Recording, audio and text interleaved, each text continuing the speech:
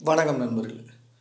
இன்றைக்கி இந்தியா ஃபுல்லாக ஒரே பேச்சு தான் பிஎஸ்என்எல் பிஎஸ்என்எல் பிஎஸ்என்எல் தனியார் நெட்வொர்க்கோட விலையேற்றம் இன்றைக்கி எல்லாத்தையுமே வந்து பிஎஸ்என்எல் பக்கம் திருப்பியிருக்கு பிஎஸ்என்எல் ஊழியர்களே வந்து என்ன ஒன்றும் பண்ண முடியாத அளவுக்கு ஸ்தம்பிச்சு போகிற அளவுக்கு மக்களோட வருகை இருக்குது இன்றைக்கி அவ்வளோ கும்பல் இருக்குது பிஎஸ்என்எல் ஆஃபீஸ்லலாம் பேக்கரியை டெவலப் பண்ணது போதும் பண்ணு வேணும் வெண்ண வேணும்னு உசுர வாங்குறாங்க ஐயா. என்னதான் பாதி பேர் பிஎஸ்என்எலுக்கு மாறினாலும் மிச்சம் இருக்க பாதி பேர் வந்து பிஎஸ்என்எலுக்கு மாறல.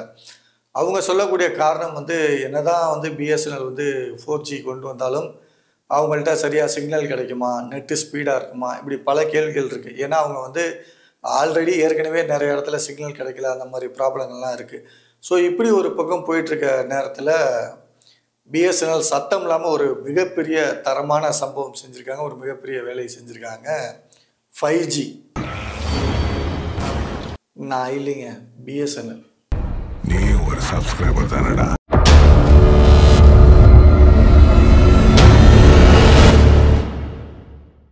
ஸோ இப்போ பிஎஸ்என்எல் வந்து ஒரு தரமான நெட்வொர்க்கை கொடுக்க முடியுமா? கவரேஜை கொடுக்க முடியுமா? அவங்க வாடிக்கையாளர்களோட தேவையை அவங்களால சரியாக பூர்த்தி பண்ணிட முடியுமா? ஜியோவுக்கு ஏர்டெலுக்கு ஈக்குவலாக வந்து அவங்களால நெட்வொர்க் கொடுக்க முடியுமா அப்படிங்கிற ஒரு மிகப்பெரிய கேள்வி இருக்குது பட் ஆனால் இவங்க எல்லாத்த விட ஒரு சிறந்த நெட்வொர்க் வந்து பிஎஸ்என்எல் தான். அடிப்படையிலேயே அவங்க நினச்சாங்க அப்படின்னா ஜியோ ஏர்டெல்லை விட அவங்க ஒரு மிகப்பெரிய ஒரு இதை கொடுக்க முடியும். அதுக்கான சாத்தியங்களும் இப்போ வந்து உருவாகியிருக்கு ஸோ இதுக்கு முன்னாடி அவங்க எப்படி இருந்தாங்க? அவங்களோட அடிப்படை என்ன? ஏன்னா ஒரு பிஎஸ்என்எலோட அடிப்படை என்னன்னு தெரிஞ்சால் தானே அவங்களால கொடுக்க முடியுமா இல்லையாங்கிறத நாம் வந்து தெரிஞ்சுக்க முடியும். ஸோ வாங்க அவங்களால முடியுமா முடியாதா? அவங்களோட அடிப்படை என்ன? ஜியோ ஏர்டெல்லாம் எப்படி ஆட்டம் காண போகுது அப்படிங்கிறதையும் வந்து இந்த ஒரு பதிவில் பார்க்கலாம். நைன்டீன் நைன்டி ஃபைவ் காலகட்டத்துக்கு முன்னாடி வந்து லேண்ட்லைன் தான் எல்லா இடத்துலையுமே. அதாவது ஒயர் சொறி ரிசீவர் எடுத்து பேசுகிற மாதிரி ஃபோன் இருக்கும் இல்லையா? அந்த ஃபோன் தான் எல்லாமே இருந்தது. நைன்டீன் நைன்டி ஃபைவ்க்கு அப்புறம் தான் வந்து கரெக்டாக அந்த வருஷத்தில் தான் மொபைல் ஃபோன்லாம் இன்ட்ரடியூஸ் ஆகுது. அதுவும் இப்போ வச்சுருக்க மாதிரி ஸ்மார்ட் ஃபோன் கிடையாது. எல்லாமே கீபேட் செட்டு தான். அதுவும் நல்லா மண்டை மண்டையாக இருக்கும். ஸோ அது அந்த மொபைல் ஃபோன் அப்படிங்கிறது வந்து அப்போ தான் வந்து இன்ட்ரடியூஸ் பண்ணுறாங்க ஆனால் அதையும் அரசாங்கம் கவர்மெண்ட் செய்யலை அப்படிங்கிறது தான் உண்மை. அதை அப்படியே வந்து ப்ரைவேட் செக்டாருக்கு கொடுத்துட்டாங்க. அது ஏன் அப்படின்னு வந்து தெரியல. ஸோ ஒரு ஏழு வருஷம் அவங்களோட ஆதிக்கம் தான் வந்து இருக்குது. அந்த ஏழு வருஷத்துலேயும் வந்து பார்த்தீங்கன்னா கால் சார்ஜஸ் இப்போ இருக்க மாதிரிலாம் கிடையாது. இப்போ வந்து நம்ம வந்து free incoming free outgoing unlimited outgoing அந்த மாதிரிலாம் நம்ம வந்து பார்த்துக்கிட்டு இருக்கோம் இல்லையா? ஆனால் அந்த காலகட்டத்தில் கிட்டத்தட்ட பன்னெண்டு ரூபா வரைக்கும் அவுட் கோயிங் கால் இருந்தது இன்கம்மிங்கே வந்து கிட்டத்தட்ட பத்து ரூபா வரைக்கும் தான் இருந்தது. ஸோ அப்படி ஒரு காலகட்டம் அது. அந்த ஒரு ஏழு வருஷம் வந்து இந்த ஒரு சேவையை வச்சு தனியார் நிறுவனங்கள் ஒரு மிகப்பெரிய கொள்ளையடிச்சாங்க அப்படின்னே வந்து சொல்லலாம். சுரண்டாங்க மக்களோட பணத்தை அப்படின்னே வந்து சொல்லலாம். ஸோ அதுக்கப்புறம் ஒரு ஏழு வருஷம் கழிச்சு ரெண்டாயிரத்தி ரெண்டில் மறுபடியும் வந்து பிஎஸ்என்எல் இந்த ஒரு இடத்துல கால் பதிக்கிறாங்க. அவங்களும் இந்த மொபைல் வேர்ல்டுக்குள்ளே வராங்க. ஸோ ஆனால் அது அவ்வளோ ஒரு ஈஸியில் ஒரு மிகப்பெரிய டஃப்பான விஷயம். ஏன்னா இன்றைக்கி வந்து நமக்கு எம்என்பி அந்த மாதிரி நிறையா விஷயங்கள் இருக்குது நீங்கள் ஒரு நம்பர் மாற்றாமலே வேறு எந்த நெட்வொர்க் வேணாலும் உங்களால் மாற முடியும் அதே சிம்மை யூஸ் பண்ணி. ஆனால் அந்த காலகட்டங்கள் அப்படி கிடையாது. ஸோ அவங்க வச்சுருக்க நம்பர்லேருந்தே வந்து மாற முடியாது. அப்படிங்கும்போது புதுசாக ஒரு சிம் வாங்க வேண்டியிருக்கும். இவங்க ஆல்ரெடி இந்த சிம்மில் நிறையா நம்பர் ஃபீட் பண்ணியிருப்பாங்க. இந்த நம்பரை நிறையா பேர்த்துக்கு கொடுத்துருப்பாங்க. ஸோ இவங்க புதுசாக ஒரு நம்பர் வாங்கி கொடுறாங்க அப்படின்னா இந்த நம்பரை இவங்க எல்லாத்துக்கும் கொடுக்க வேண்டியிருக்கும். ஸோ அங்கே நிறைய சிக்கல்கள் இருக்கும். அவங்க கம்யூனிகேஷன் பண்ணுறதுல ஸோ அது ஒரு மிகப்பெரிய சவாலாக இருந்திருக்கு. அந்த டைமில் இன்னொரு விஷயம் என்ன அப்படின்னா நூறு பேர் இருக்காங்க அது அப்படின்னா அதில் ஒரு ஐம்பது பேர் ஏர்டெல்லு ஒரு முப்பது பேர் மற்ற நெட்வொர்க் இந்த மாதிரி இருக்கிற நூறு பேர்லேயுமே வந்து ஆல்ரெடி எல்லாருமே எல்லா கம்பெனிலையும் இருப்பாங்க. ஸோ அவங்கள உள்ளே கொண்டுட்டு வரணும் அப்படிங்கிறது அவ்வளோ ஈஸியமான விஷயம் கிடையாது. ஸோ அங்கே தான் ஒரு மிகப்பெரிய விஷயத்தை பயன்படுத்தினாங்க பிஎஸ்என்எல் இலவச இன்கம்மிங் இலவச இன்கம்மிங்கை கொண்டு வந்தாங்க. அப்படியே அங்கே இருக்கக்கூடிய எல்லா மக்களும் கிட்டத்தட்ட ஒரு பாதி பேத்துக்கு மேலே அப்படியே வந்து பிஎஸ்எல்க்கு மாற ஆரம்பித்தாங்க இன்கம்மிங் ஃப்ரீ அப்படிங்கிறதுனால. ஸோ அதே கான்செப்டை தான் இப்போ ரெண்டாயிரத்தி பதினாறில் ஜியோ யூஸ் பண்ணாங்க. அவங்க இன்கம்மிங்கை ஃப்ரீன்னு கொண்டு வந்தாங்க. இவங்க நெட்டை ஃப்ரீன்னு கொண்டு வந்தாங்க. அதுவும் டூ ஜிபி நெட் ஒரு நாளைக்கு ஃப்ரீ அப்படின்ற மாதிரி கொண்டு வந்தாங்க. அதுவும் இன்னும் ஆரம்பத்துலலாம் ஒரு ஒன் இயருக்கு ஃப்ரீ ஆமாம் கால்ல இருந்து எல்லாமே ஒன் இயருக்கு ஃப்ரீ அப்படிங்கிறத கொண்டுட்டு வந்து எல்லா மக்கள்கிட்டையும் அவங்களோட சிம்மை வந்து கொண்டு போய் சேர்த்தாங்க. ஆனால் அங்கேருந்து தான் இங்கே மிகப்பெரிய பிரச்சனைலாம் ஸ்டார்ட் ஆச்சு. டிக்டாக்கு இந்த மாதிரி விஷயங்கள் ஏன்னா டிக்டாக்லாம் பேன் பண்ணுற அளவுக்கு போயிருக்காங்கன்னா அவ்வளோ அட்டகாசம். ஆபாசமாக பேசுறது ஆபாசமாக உடைய அணிஞ்சு வீடியோ போடுறது இப்படி கண்ணா அப்படின்னான்னு எல்லா ஒட்டுமொத்த சோஷியல் மீடியாவோட வளர்ச்சிக்கும் அழிவுக்கும் நிறையா குடும்பங்கள் சிதைஞ்சதுக்கும் அன்னைக்கு அந்த ஒரு ஜியோ கொடுத்த ஃப்ரீயான நெட்டு தான் வந்து ஒரு மிகப்பெரிய காரணமாக இருந்ததுன்னா சொல்லி ஆகணும். இதை நம்ம ஏற்றுக்கிட்டே ஆகணும். மறக்கவே முடியாது. ஸோ அப்படியாப்பட்ட ஒரு விஷயத்தை தான் அவங்க வந்து கையாண்டு வந்தாங்க. எல்லாத்துக்கும் ஃப்ரீ நெட் அப்படின்னு கொடுத்து எல்லாத்தையும் பிடிச்சாங்க. ஒரு விஷயம் இருக்குது ஒரு கார்ப்பரேட்டுக்கும் ஒரு முதலாளிக்கும் ஒரு வித்தியாசம் இருக்குது என்ன அப்படின்னா ஒரு பிஸ்னஸ்மேன் அப்படிங்கிறவன் வந்து பத்து பேர்த்தோட போட்டி போட்டு ஜெயிப்பான். பத்து பேர்த்தோட இவன் பதினொன்னா வர்றான் அப்படின்னா அவங்களோட இவனும் ரேஸில் ஓடி ஜெயிப்பான். அது பிஸ்னஸ்மேன் ஆனால் கார்ப்பரேட் அப்படி இல்லை. பத்து பேர் ஓடுறான்னா அந்த பத்து பேர்த்தையும் காலை உடச்சி விட்டு அவங்கள ஓட முடியாதபடி ஆக்கி விட்டு இவன் முன்னாடி போகும் அதுதான் இங்கே ஒரு மிகப்பெரிய விஷயம். அதை தான் வந்து ஜியோவும் பண்ணாங்க. ஏன்னா அன்னைக்கு இருந்த ஒரு காலகட்டத்தில் இவங்க ஒரு ஜிபி வந்து நூற்றம்பது ரூபா இரநூறுவான்னு இருந்துச்சு. நம்மலாம் மாதத்துக்கு ரெண்டு ஜிபி நெட்டை வச்சு மாதம் முழுக்க ஓட்டுவோம். வாட்ஸ்அப்பு ஃபேஸ்புக் மட்டும் சிம்பிளாக யூஸ் பண்ணி நெட்டை பார்த்து பார்த்து வச்சுக்குவோம். ஸோ அந்த மாதிரி காலகட்டத்தில் இவங்க ஃப்ரீன்னு கொடுத்ததுனால எல்லாருமே இங்கே வந்துட்டாங்க. ஓ காம்படிஷன் வேறு ஒன்றும் பண்ண முடியாது. என்ன பண்ண முடியும்? இவங்களும் ஃப்ரீயாக கொடுக்குற ஒரு சூழ்நிலை வந்துச்சு. இவங்களும் அப்புறம் எல்லாருமே ஒரு நாளைக்கு ரெண்டு ஜிபி ஒரு ஜிபி மூணு ஜிபின்ற மாதிரி ஒரு லிமிட்டடு அமௌண்ட்டில் வந்து கொண்டு வந்தாங்க. அதை நிறையா கம்பெனிகளால் தாக்கு பிடிக்க முடியல. உங்களுக்கே தெரிஞ்சிருக்கும் ஏர்செல் மாதிரியான கம்பெனியெல்லாம் க்ளோஸ் பண்ணுற ஸ்டேஜுக்கு போயிடுச்சு அவரே ஒரு இதில் சொல்லியிருந்தார். இந்த மாதிரி இவங்க பண்ணது வந்து அநியாயம். அதனால தான் வந்து எ- நாங்கெல்லாம் இப்படி மூட வேண்டியதாக போயிடுச்சு அப்படிங்கிற மாதிரி சொல்லியிருந்தார். அவர் சொல்கிறது ஒரு வகையில் கரெக்டு தான். ஏன்னா நீ ஒரு டீ கடை எடுத்துக்கிட்டிங்கன்னா கூட அது ஒரு சங்கம் இருக்கும். ஸோ இவ்வளோ தான் விற்கணும் அப்படின்னா அந்த சங்கத்தில் முடிவெடுத்தால் நீ எந்த கடையில் போனாலும் அதே தான் இருக்கும். ஆனால் இங்கே அப்படி இல்லை. இவங்க இஷ்டத்துக்கு இவங்க என்ன வேணாலும் பண்ணிக்கலாம் அப்படிங்கிறது தான் ஜியோ வந்து அங்கே யூஸ் பண்ணாங்க. பட் ஆனால் இதை ஆரம்பித்ததும் ஏர்செல் தான். ஏன்னா ஏர்டெல் இவங்கெல்லாம் வந்து கரெக்டாக கொடுத்துருந்த நேரத்தில் ஏர்செல்லில் தான் வந்து ஃபுல் டாக் டைம் நீங்கள் இருபது ரூபாய்க்கு ரீசார்ஜ் பண்ணால் ஃபுல் டாக் டைம் அந்த மாதிரிலாம் ஆஃபரை கொண்டு வந்து இவங்க ஒரு ஸ்ட்ராட்டஜியை கொண்டு வந்து எல்லா வாடிக்கையாளருக்கும் பிடிச்சாங்க. ஸோ அதையே தான் வந்து ஜியோவும் பண்ணாங்க. அவங்களுக்கு தெரிஞ்ச வகையில். ஏன்னா இவங்கள விட அவங்கள்ட்ட இருக்க பணம் வேறு லெவல் இல்லையா? நீ இரு நீ இப்படியா பண்ணுற அப்படின்னு அவங்க வேறு லெவலில் பண்ணி முன்னுக்கு வந்தாங்க. ஸோ இப்படி தான் ஜியோவும் உள்ளே வந்தாங்க. நம்மளையும் ஒரு அடிக்ஷனுக்குள்ளாக்கி நம்ம எல்லாத்தையும் கைப்பற்றினாங்க. ஸோ இப்போ நம்ம விஷயத்துக்கு வருவோம். பிஎஸ்என்எல் வந்து நெட்வொர்க் நமக்கு கம்மியாக கிடைக்குது அப்படின்னா அதில் நிறைய விஷயங்கள் இருக்குது ஏன்னா தனியார் கம்பெனிகள் வந்து அவங்களோட லாபத்தை மட்டும்தான் பார்ப்பாங்க.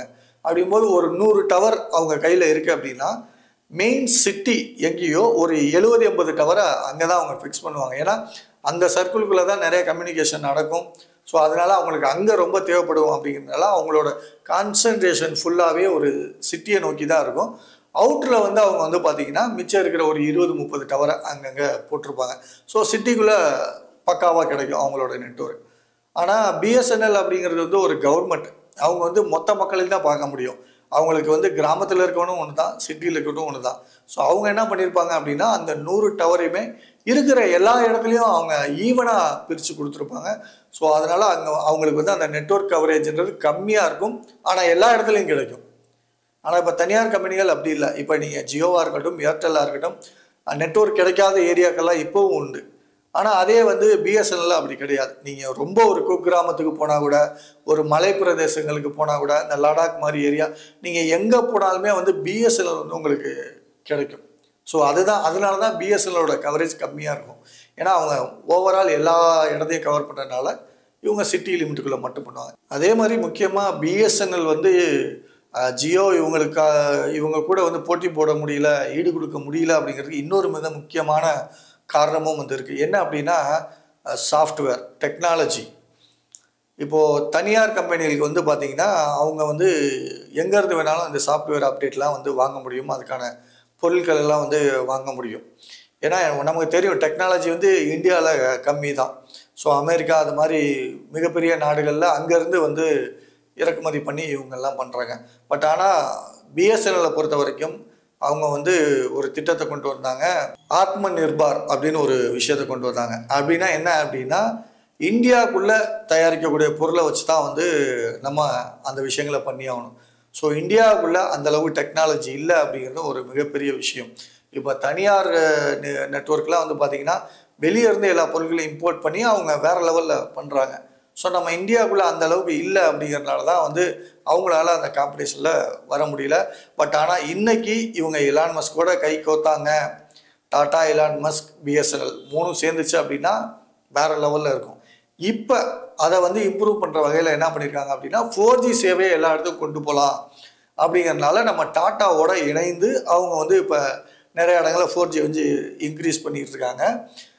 அதில் அவங்க ஒரு மிக முக்கியமான வேலை பண்ணியிருக்காங்க. ஏன்னா இன்னும் சில கம்பெனிகள் ஃபைவ் ஜி பக்கம் போகல பட் ஆனால் இவங்க ஒரு விஷயம் என்ன பண்ணியிருக்காங்க அப்படின்னா ஃபைவ் ஜிக்கான சேவையும் சேர்த்து ஏற்கனவே அவங்க வந்து பண்ணிகிட்ருக்காங்க என்ன பண்ணுறாங்க அப்படின்னா இப்போ பிஎஸ்என்எல் கொடுக்கக்கூடிய சிம் எல்லாமே ஃபைவ் ஜி சப்போர்ட் பண்ணக்கூடிய சிம் இப்போ பிஎஸ்என்எல் ஃபைவ் ஜி கிடையாது. பட் ஆனால் அந்த சிம் வந்து ஃபைவ் ஜியை சப்போர்ட் பண்ணும். அதை விட ஒரு முக்கியமான விஷயம் என்ன அப்படின்னா இப்போ ஃபோர் ஜிலேருந்து நம்ம ஃபைவ் ஜிக்கு போகிறோம் அப்படின்னா அதுக்கு தகுந்த மாதிரி எக்யூப்மெண்ட்லாம் மாற்றுற மாதிரி இருக்கும்.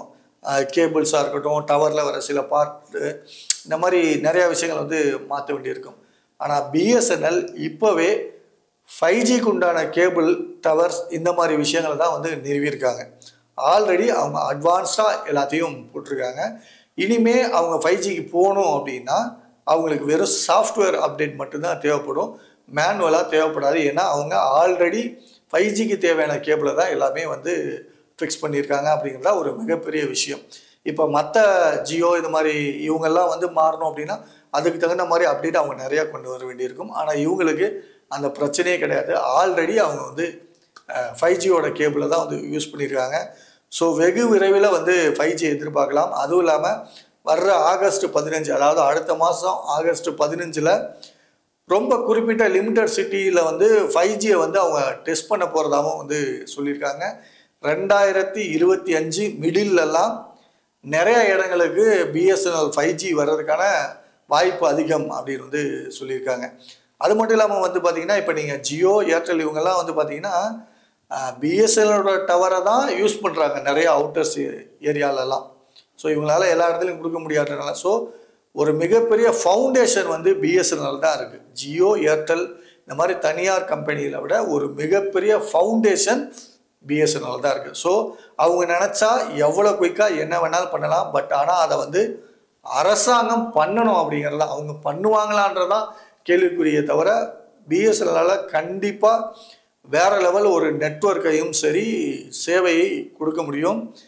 இப்போ வந்து பார்த்தீங்கன்னா நீங்கள் கேள்விப்பட்டிருப்பீங்க டாட்டாவோட அடுத்ததாக எலான் மஸ்கும் இணைய போகிறதா ஒரு தகவல் வந்திருக்கு. இது கன்ஃபார்ம் பண்ணப்படலை. ஆனால் இணைஞ்சா அதோட ரீச் வேறு லெவலில் இருக்கும். ஏன்னா எலான் மஸ்க் தெரியும். அவர் தனியாக ஒரு சேட்டிலைட்டே வச்சுருக்காரு ஸ்டார் லிங்க் அப்படின்ட்டு. ஸோ டாட்டாட்டா ஐடியாலஜி நிறையா இருக்குது ஸோ இவங்க ரெண்டு பேரும் கவர்மெண்டோட இணைஞ்சாங்க அப்படின்னா மற்ற ஜியோ ஏர்டெல் இவங்களோட நிலைமையெல்லாம் கொஞ்சம் திண்டாட்டம் தான். பட் ரேட்டு என்ன பண்ணுவாங்க அப்படிங்கிறது ஃபைவ் ஜி வந்தால் தான் தெரியும். ரேட் இன்க்ரீஸ் பண்ணுறாங்களா இல்லையா அப்படிங்கிறது. மேக்ஸிமம் ஆனால் கவர்மெண்ட் கம்பெனி அப்படிங்கிறதுனால வந்து ரேட் இன்க்ரீஸ் பண்ணுறதுக்கான வாய்ப்புகள் ரொம்ப குறைவு தான் ஏன்னா இப்பயே வந்து பார்த்தீங்கன்னா நூற்றி ஒம்பது ரூபாய்க்கெலாம் பிஎஸ்என்எல்ல இப்போயுமே வந்து பேக் இருக்குது இப்போ நீங்கள் நிறைய பேர் பார்த்தீங்கன்னா கீபேட் செட் வச்சுருப்பாங்க. நிறையா பேர் வீட்டில் குழந்தைகளுக்காக மட்டும் வாங்கி கொடுத்துருப்பாங்க. ஸோ இன்னும் நிறையா கிராமங்கள் இருக்குது நெட் யூஸ் பண்ணாத கிராமங்கள். அவங்களுக்கெல்லாம் வந்து இந்த த்ரீ ஜி இதெல்லாம் வந்து தேவையில்லை நெட்டு தேவையில்லை. ஸோ அவங்களுக்கு ஒரு மினிமம் பேக் இருந்தாலே போதும் அப்படிங்கிற ஒரு சூழ்நிலை தான் ஆனால் இந்த தனியார் நெட்ஒர்க்கில் அதெல்லாம் இல்லை. அதுவும் இல்லாமல் வந்து பார்த்தீங்கன்னா இப்போ இந்த விளையாட்டுறதுக்கு என்ன காரணம் அப்படின்னா நாங்கள் ஃபைவ் ஜி அப்டேட் பண்ண போகிறோம் அதுக்காக தான் வந்து ஏற்றிருக்கோம் அப்படின்னு வந்து சொல்கிறாங்க பட் அவங்க ஃபைவ் ஜி யாருக்கு கொடுக்குறாங்க அப்படின்னா டெய்லி டூ ஜிபிக்கு மேலே நெட்டு யூஸ் பண்ணுறவங்களுக்கு மட்டும்தான் அவங்க அந்த அப்டேட் வந்து கொடுத்துருக்காங்க. ஸோ அப்படி இருக்கும்போது டூ ஜிபிக்கு மேலே நெட் யூஸ் பண்ணவங்களுக்கு நீங்கள் ஃபைவ் ஜி கொடுக்க போகிறதுக்காக ஒரு ஜிபி யூஸ் பண்ணுறவன் கீபேட் செட் யூஸ் பண்ணவன்ட்டெல்லாம் காசை கொடுங்கிறது எந்த விதத்தில் நியாயம்? ஸோ இதை தான் வந்து இன்னைக்கு பெரிய அளவில் ஒரு மாற்றத்தை உண்டு பண்ணி பிஎஸ்என்எலுக்கு மக்களை வந்து திசை திருப்பி இருக்கு. ஸோ பார்ப்போம் இது இன்னும் எவ்வளோ நாளைக்கு நிலைக்கும் அப்படின்னு பிஎஸ்என்எல் ஃபைவ் ஜி வரவேற்கத்தக்க வேண்டிய ஒரு விஷயம். இதே மாதிரி இவங்க பண்ணாங்க அப்படின்னா நம்மளுக்கு வந்து அதாவது ஒரு கவர்மெண்ட் காம்படிஷனில் இருக்குது அப்படின்னா தனியார் நிறுவனங்களும் விலையை இறக்கி தான் ஆகணும் மீடியமாக வச்சு தான் ஆகணும். ஏன்னா இப்போயே ஆல்ரெடி பாதி பேர் வந்துட்டாங்க. இன்னும் ஏற்றணுமோ இல்லை கூடவே வச்சாங்க அப்படின்னா அனைவரும் வந்து அப்புறம் பிஎஸ்எல்லுக்கு தான் வர மாதிரி யாரும் கவர்மெண்ட் மேலிடத்துல தான் இருக்கும். ஆனால் அதுக்கு வந்து விடமாட்டாங்கன்னு வச்சுக்கோங்களேன். அது வேற விஷயம். சரி வெயிட் பண்ணி பார்ப்போம் என்ன நடக்குது அப்படின்னு. நீங்கள் பிஎஸ்என்எலுக்கு மாறிட்டீங்களா இல்லையா அப்படிங்கிறத கீழே கமெண்ட்டில் சொல்லுங்கள் நான் ஆல்ரெடி என்னோடய நம்பரை பிஎஸ்என்எலுக்கு மாத்திரம் தான் இருக்கேன். நீங்கள் என்ன ஐடியாவில் இருக்கிறீங்கன்றதும் கமெண்ட்டில் சொல்லுங்கள் மீண்டும் மற்றொரு பதிவில் சந்திப்போம். நன்றி.